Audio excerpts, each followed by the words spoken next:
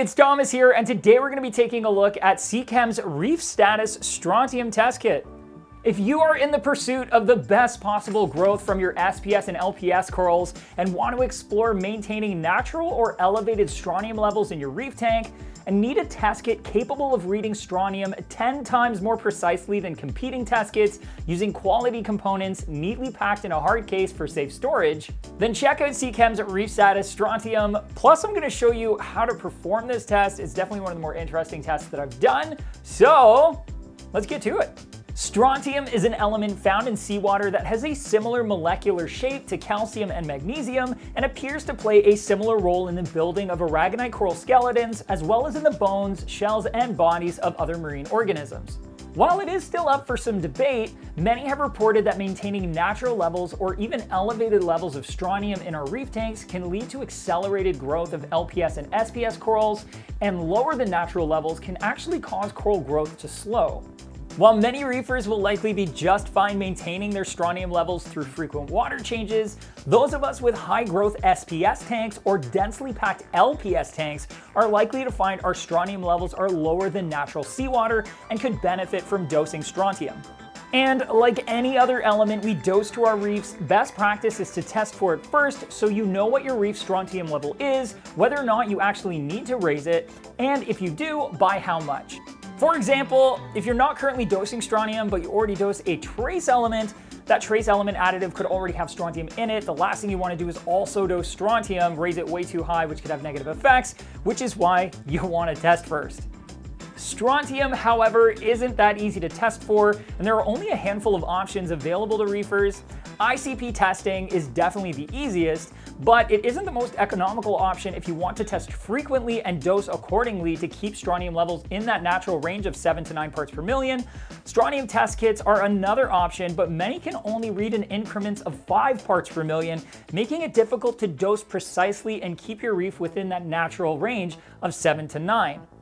Seachem's Reef Status Strontium is a high quality test kit designed for reef aquarists who want to keep tabs on their strontium levels to maintain it at a natural or elevated level to encourage accelerated coral growth.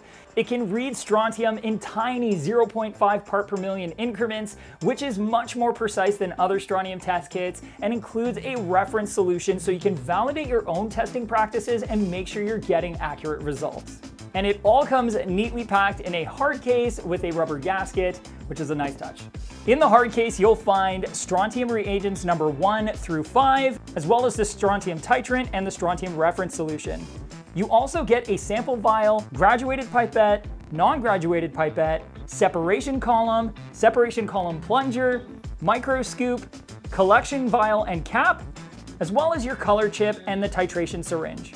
Before we dive into how this test is performed, which I'm going to show you, it is important to mention that reagent number one is a very strong acid, and Seachem includes some simple personal protection equipment for you to wear while performing the test. The bottle of reagent one comes stored inside of an extra container filled with vermiculite and a neutralizing agent just in case it leaks in transit. So be diligent when performing the test and keep some baking soda on hand just in case you spill or drip the reagent by accident.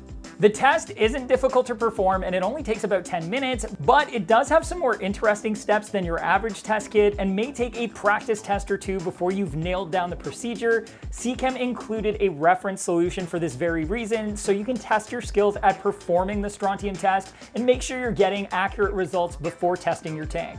It does make you feel like a bit of a scientist though, which is kind of fun. Before you get started, get some fresh RODI water, your personal protective equipment, a little bit of baking soda just in case, and clear a surface to perform the test. This strontium test kit has six stages that include pre-wetting, absorption, wash, elution, then adding reagents, and finally titrating. The very first step is to pre-wet the graduated syringe that has a white cotton-like filtration material inside of it.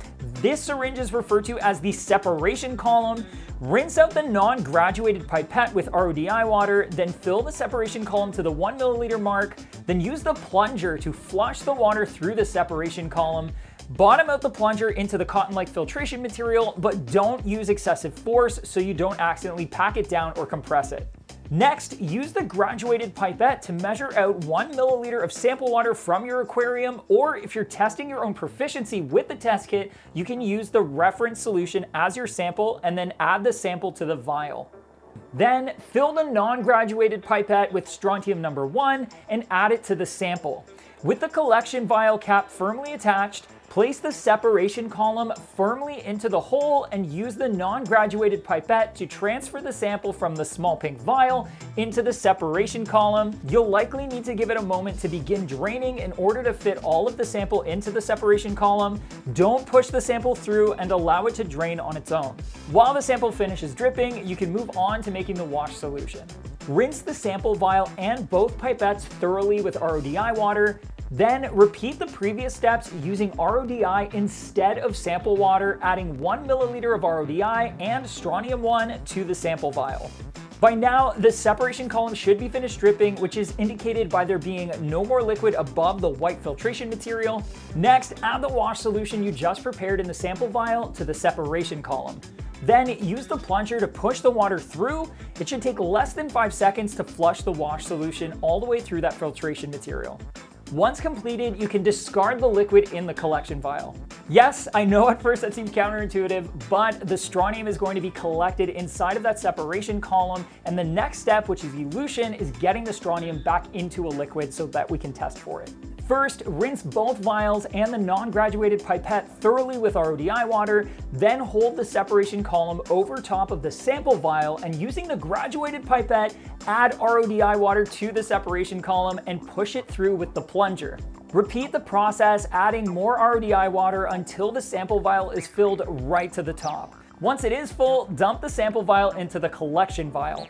Now we're on to the fifth and sixth stages and they are going to be very familiar. Add one scoop of reagent two and gently shake until dissolved, then add two drops of reagent three and mix, then one drop of reagent four and mix, lastly one drop of reagent five and a final mix.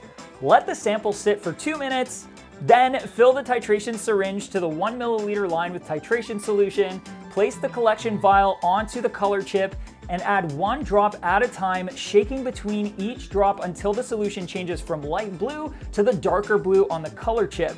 Then take note of how much titration solution you've used, compare it to the chart, and you've got your strontium reading. Now you can use your strontium additive of choice and accurately dose your reef tank.